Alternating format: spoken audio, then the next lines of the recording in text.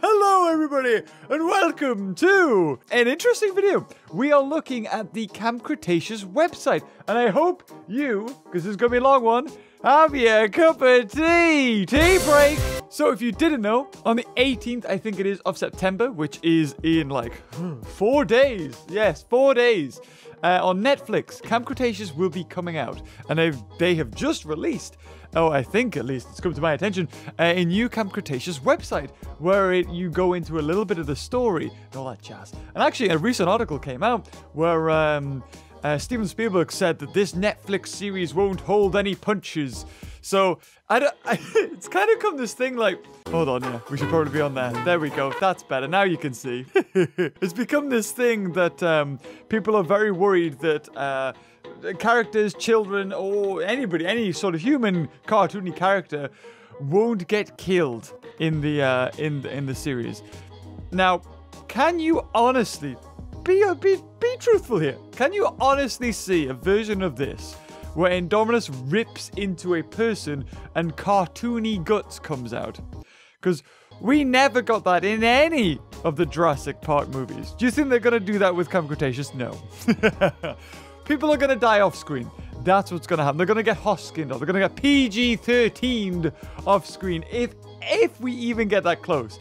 It'll be an insinuation. There'll be like maybe a tiny bit of blood and and like their their you know their hairband or or part of their clothing or a walkie-talkie that was his walkie-talkie. And that, that's what you're gonna get. I, I still think it'll be a fun series. It's not gonna be this, wow, nobody's gonna die, oh, I'm not gonna like it. I think I still will enjoy it, no matter PG-13 or whatever. So, without further ado, how about we have a look at this website? So here we go. Camp Cretaceous, your adventure starts here.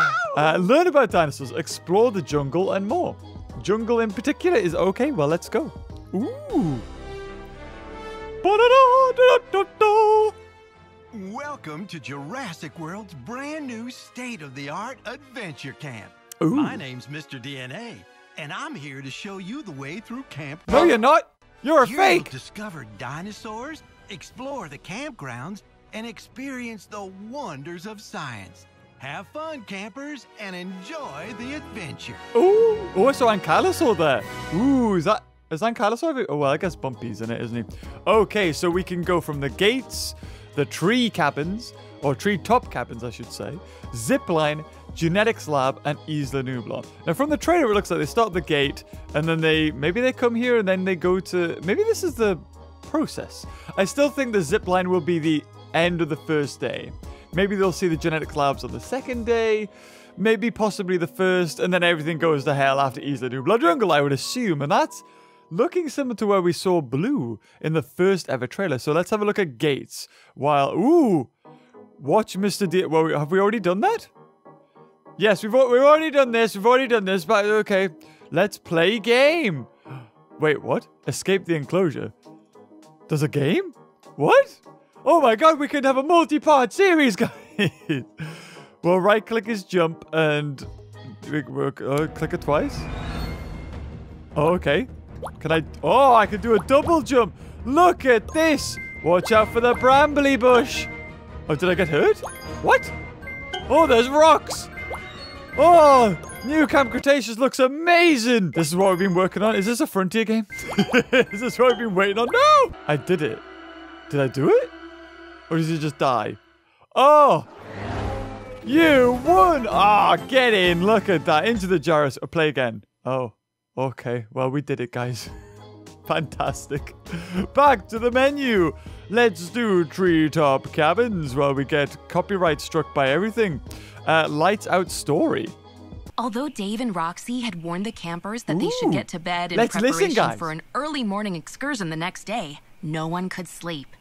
The adrenaline from that day's activities was running high, and for the first time, it wasn't fueled by some unforeseen danger that had arisen along the way.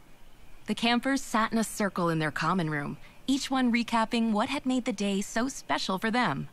Brooklyn could hardly contain her excitement. We got to see so much cool stuff today. There was truly something for every Brooklander out there to enjoy. This unboxing Jurassic World video got more engagement than anything I've posted since I've been here. What is this me? My spirits, she couldn't help but throw a good-natured eye roll in Brooklyn's video. direction. Why aren't I in this series? beat Hey, you in the gyrosphere races, then again on foot. bloody Sam let out Universal could have had me. punched Yaz on the shoulder.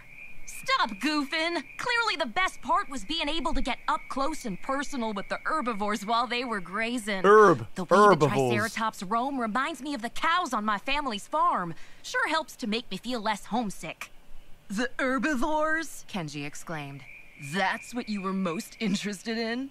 It's all about the carnivores, baby. Watching them during feeding time was absolutely unreal.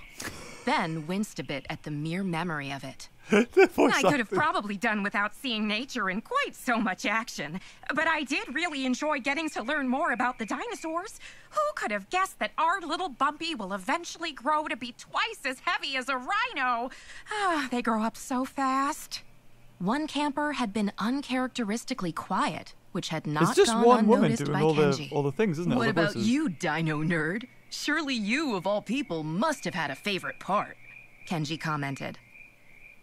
With a faraway look of contentment on his face, Darius absent-mindedly rubs his finger over the curved edge of his. Ah, he's the main character, necklace, Darius. with the realization that this was exactly the kind of day he'd envisioned for him and his dad at the park. I'd assume. It was perfect, he mused. All of it. Oh, that's nice. Oh god, the copyright music. Okay, camp activities. Let's have a look at this. What? It, Ooh. Wait, what? Discover. Camp. ac- wait, is, is this just? What do I do? Is this download pages? Oh, okay. Ooh, Sinoceratops, an herbivore. Tyrannosaurus Rex, a carnivore. Wait, no, no, I don't know. Ah, that's, so that's the trailer. Ah, gotcha. Okay, so there's not much here. So that looks like where they're going to be staying in the treetops there. I want to see the Brachiostachysauruses. Camp adventure story or hear the di- Ooh, let's hear the dinosaurs. Ooh.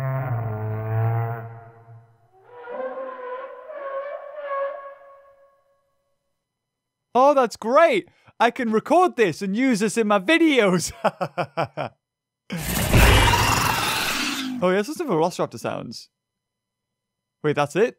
Is that the only raptor sound? Brachiosaurus, you got like 20. Yeah, and raptors get that. That doesn't sound like any raptor sound I've heard before. It's not Jurassic Park. It's not The Lost World. It doesn't sound like Jurassic World. Hmm, it's an interesting raptor sound. Sino, okay. I like how Sino just gets like everything. Brachiosaur gets everything, and everything else gets wrong. What about T Rex? Sounds, yeah, that that sounds like Rexy. That could be Rexy. And you know what? I, I, you could play a Carnotaurus sound, and I wouldn't be able to tell you what it was. That's interesting. And there's, there's still kind of like, oh, Rexy's going to be in this one. So they must be on the island after the events of Jurassic World. They must be. Because Rexy gets released at the end of Jurassic World, right? Unless it's not canon. Oh, I really wish we wouldn't we didn't have this argument about what's canon and what isn't. Just enjoy it it. was another day at Ooh, Camp here we go. And the campers were feeling restless. Their scheduled zipline adventure for the day had been canceled due to unforeseen weather conditions, namely a relentless rainstorm that seemed destined to devolve into thunder and lightning at any moment. Despite futile attempts to keep themselves entertained indoors, everyone was miserable. Their counselors Dave and Roxy came in to check on them at one point to confirm that they would in fact be staying put for the day. While a poncho could protect them from the rain, it wouldn't protect them from the possibility that a stray lightning bolt might decide to strike the zipline mid-excursion.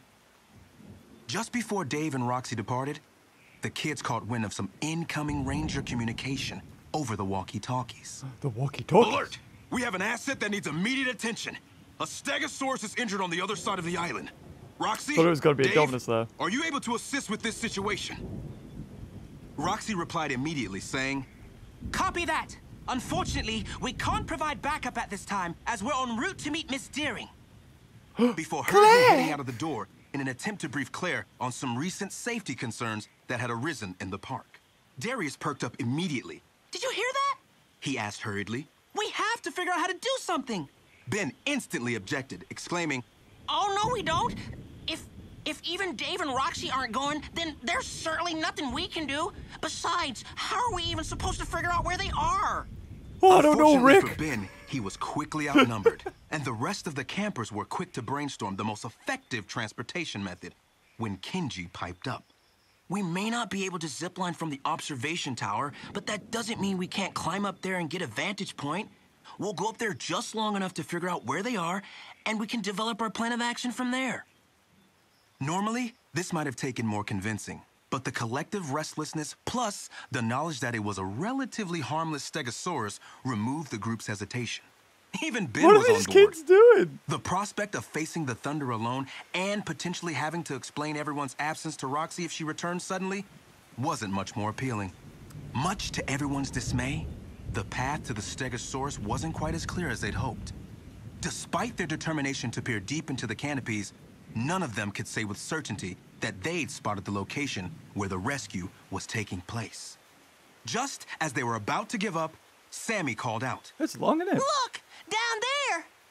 Everyone's gaze followed her outstretched finger, which was pointing to two rangers who were running on foot, clearly in response to something frantic. Y'all, I bet they've been called as backup. They're sure to lead us right to that poor Stegosaurus. Are they going to have And these accents in the in the they're headed? series? Ben objected, but to no More avail. howdy. The rest of the group was already racing down the stairs even more quickly than they ascended, in an attempt to keep the Rangers' trail. Despite their best efforts, their tracking skills proved to be no match for what was now just shy of a torrential downpour. Any semblance of footprints was quickly erased as the dirt beneath them transformed into mud. No. Between that and the consistent thunder which drowned out any voices that would normally serve as guidance, the group quickly realized they were lost. In what seemed to most certainly be a definitive sign that it was time to turn back, their progress was suddenly curtailed by a tree branch that had been struck down by lightning disturbingly nearby. Disturbingly? As the sun Ooh. continued its descent and panic began setting in, the group became increasingly nervous. Initially, their fears were centered around the possibility that Dave and Roxy would beat them back to camp and their defiant exploits would be revealed. But the stakes immediately raised Right. as they heard an ominous roar in the distance between thunder breaks. Oh, The group looked at one another fearfully. Indominus. Um, what kind of dinosaur was that? Kenji asked Darius somewhat frantically. For the first time, Darius was stumped. With the gravity of the situation now undeniable, Brooklyn noticed a black van driving towards them. That's an asset containment unit transport. Those rangers were probably out on this rescue mission, and if we flag them down, they can take us back to camp.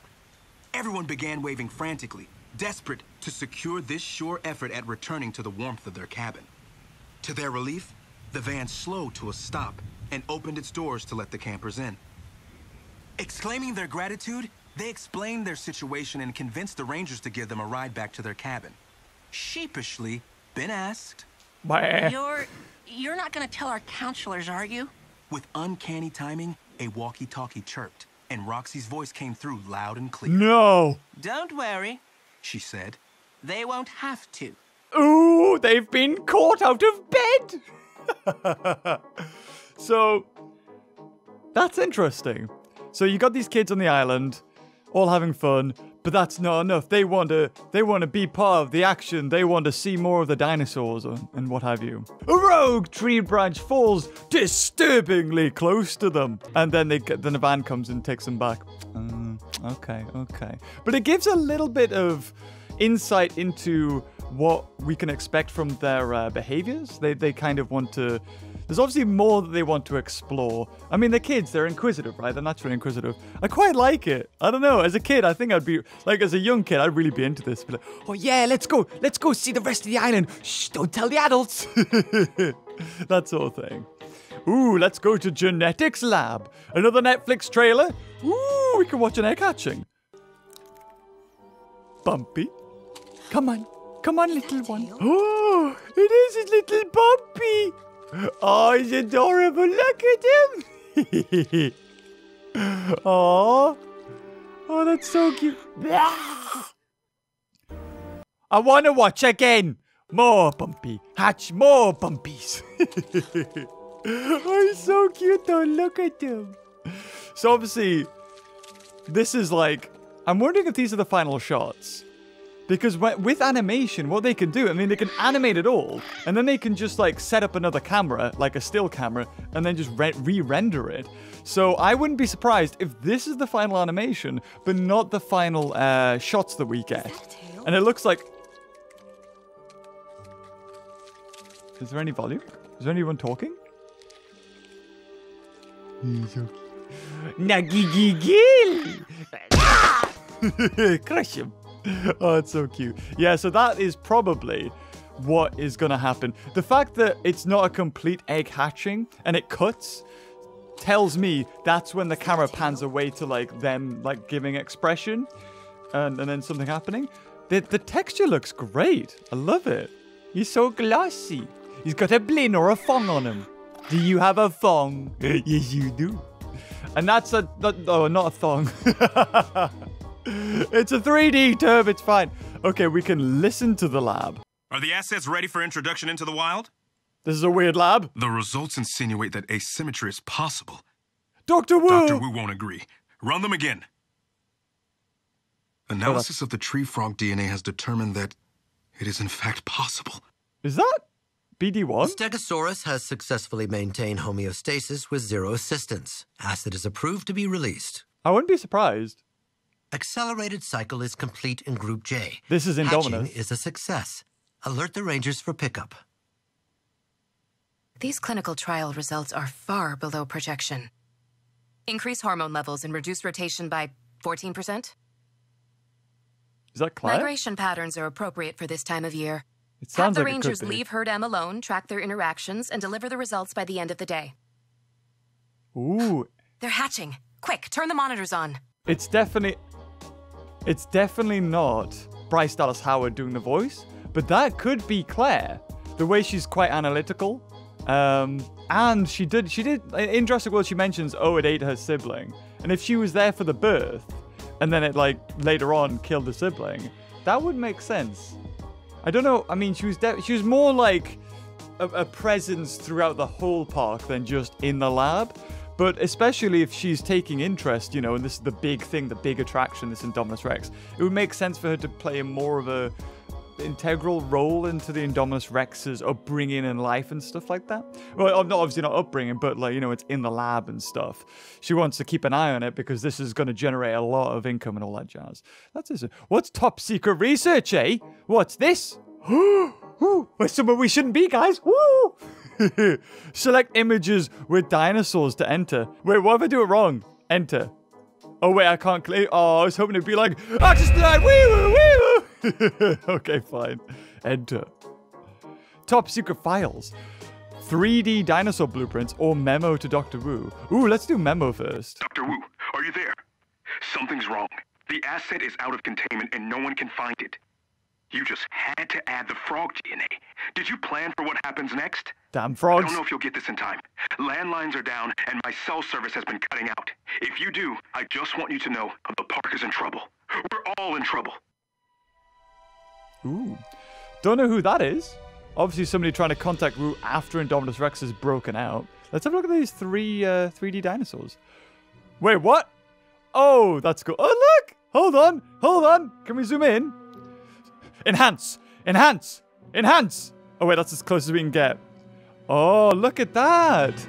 We have Doctor Wu, and he's like stylized as if he would be in the series. Now, would they go to all the effort of doing that if he wasn't in the series? I don't think so. I think we're going to see Doctor Wu, and that sounded like BD Wong, the voice actor or the actor. Um, oh, okay, let's have a look. Indominus Rex. oh, it's like a raven here. oh, that's cool. I mean, stuff like this isn't too hard. I love the refracting uh, ground at the bottom. That looks so cool. Okay, that's what does one do? Mouth. Oh god. Ability to swallow a human in a single gulp. She also cho- chooses to kill for sport. not by necessity. Well, did you know this before? Okay. Brain. Big brain! Able to communicate with other dinosaurs she hybridized with, such as raptors. Hmm. You know, with stuff like this, I'd like it if it was like that sort of things that it felt like they were just finding out on the fly in Jurassic World. It'd be cool if there was other things. I don't know. I don't know. Anyway, this, this it's interesting. And three claws. Indominus Rex was oh god. Uh, can I can I keep this still somehow? Was oh there we go. Was created with genes from Carnotaurus for the prominent eyebrow horns. Giganotosaurus for immense size. The dinosaur Rugops and Majungasaurus for prominent scale ornamentation. And the Therizinosaurus for frighteningly elongated claws. So hold on. I mean, I don't think it was ever known what Indominus Rex was made out of. So you're telling me that Indominus Rex is made out of Carnotaurus, Giganotosaurus, Rugops, Majungasaurus, Therizinosaurus, T-Rex? Is it T? Rex? Maybe T-Rex? That's not confirmed. Definitely Velociraptor, Tree Frog, Cuttlefish. That's eight things.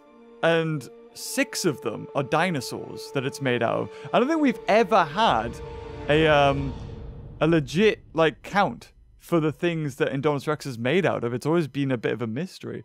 Ooh, let's look at Ankylosaurus. Oh, look at you. Who's a cutie? Yes, you are. Well, no, we're going to start at number one. The tail. A hit, a hit by Ankylosaur's tail club generates over 400 mega. What's that? What's that for a word? Megaparcels? Mega megapulse? Megacles of force. More than four times the impact stress needed to break bone.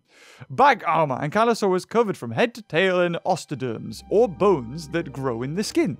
Even its eyelids had armor. Mm. Let's go into Stego. Oh, there it is. The classic droopy tail, sad doggo stegosaur.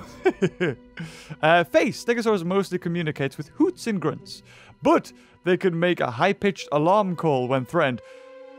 More like, ah! you hear that? The stegosaur's in trouble. Oh! Oh! What's that noise? It's the stegosaurus. oh, dear. Oh, no, I want to see the stomach. Despite being a massive, prickly dinosaur, Stegosaur has a very tiny has very tiny teeth. Uh, these limit the herbivore to a diet mostly of soft foods like ferns. And tail. While plates of Stegosaurus are flashy visual displays, the herbivore carries a dangerous tail. Stegosaurs can swing its spike-studded tail at 40 miles per second, or 40 meters per second. 40 miles per second! Wham! Kill anything. Uh, fast enough to pierce flesh and bone. I'm interested they didn't say thagomizer. I thought that would be a cool one for kids to know. It's always been one of the things that, like, I know a kid who's like, oh, it's actually a thagomizer. And they'd be like, oh, shut up. oh, Parasaurolophus, my fave. My baby. What the heck's going on with its tail there? You haven't done its skin weights properly. Eee. Well, anyway. Oh, maybe it's supposed to look like that. Head horn. No!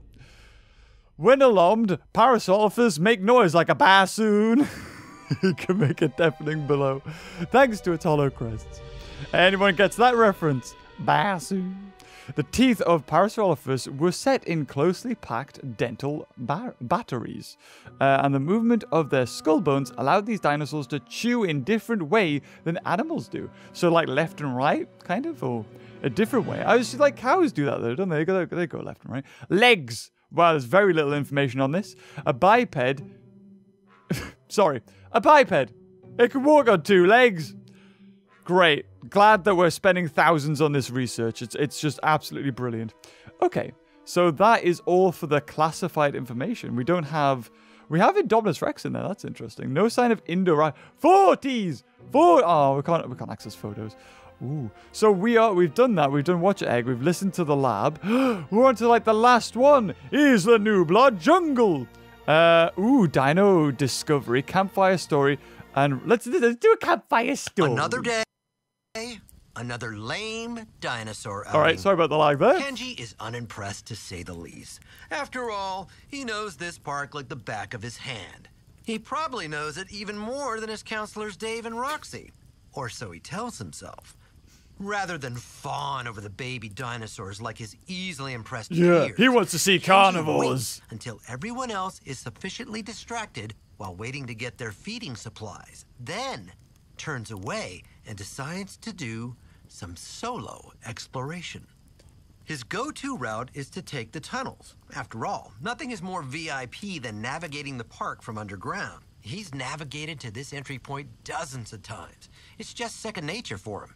At this point, he has wandered quite some distance, but That explains matter. why he was in the Once raptor enclosure. He'll be able to find his way back easily. Oddly enough, when he does find the spot he was looking for, it turns out to be locked. Just his luck. Kenji's initial reaction is one of annoyance. He wasn't prepared for this day to get even lamer. If he had to walk back to the camp, Who uses that least term? hoped it would be Oh. shaded from the hot sun. This annoyance begins to evolve into a panic as he hears some roars that aren't quite as far off in the distance as he would have hoped. He picks up his pace from a leisurely stroll to a purposeful power walk. The panic escalates as he looks down and sees some dinosaur tracks that are significantly larger than the ones he'd seen at the feeding enclosure earlier. Now running, he realizes he's lost his way, both due to the lack of familiarity provided by the tunnels and the fear that has fully replaced his boredom. Before he can get back on track, He's just he so sees cool. the culprit of both the tracks and the earlier roars, the Tyrannosaurus Rex, Oh. which is now far too close for comfort. Fully aware of his athletic limitations, Kenji acknowledges his inability Kenji to beats outrun up the if T-Rex. Things were to escalate to a chase, so he weighs his options. In a fit of desperation, Kenji sees a nearby ditch as an opportunity for shelter and jumps in without a second thought. What feels like an hour later, the T-Rex retracts out of sight and earshot, and Kenji sheepishly emerges and slowly makes More his way back to the feeding enclosure. I like that This word. This was not exactly the underground adventure he'd had in mind when he veered off. Oh.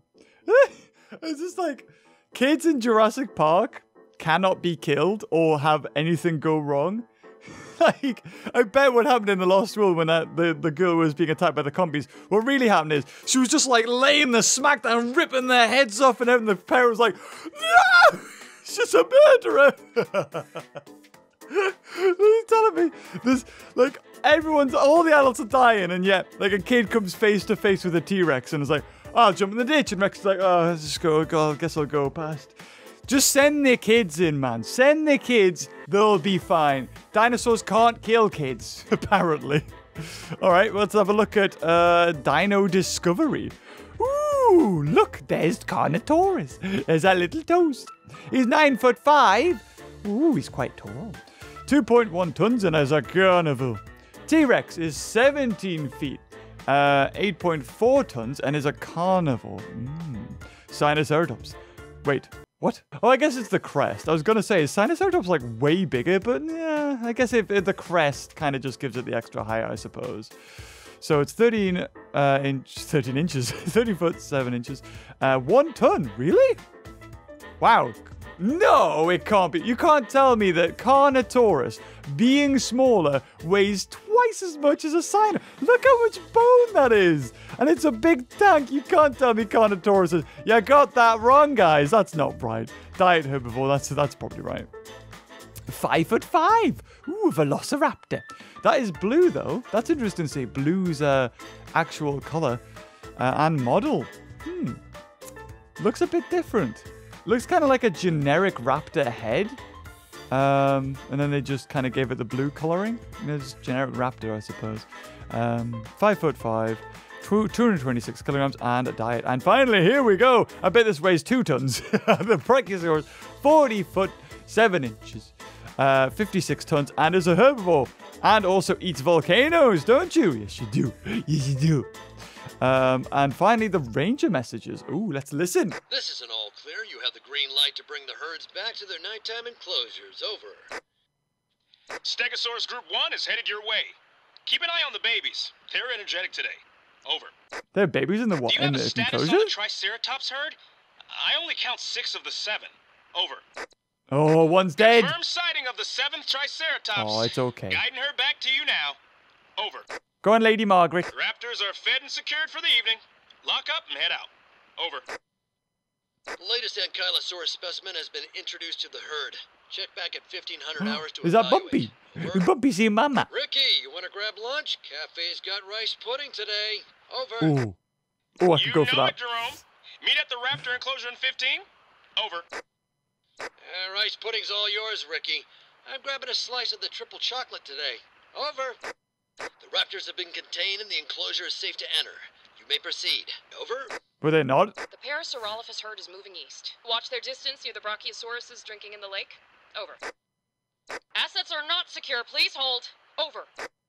Did you hear me? I said to stay inside. Over. Hurry! It's gaining on us. Over.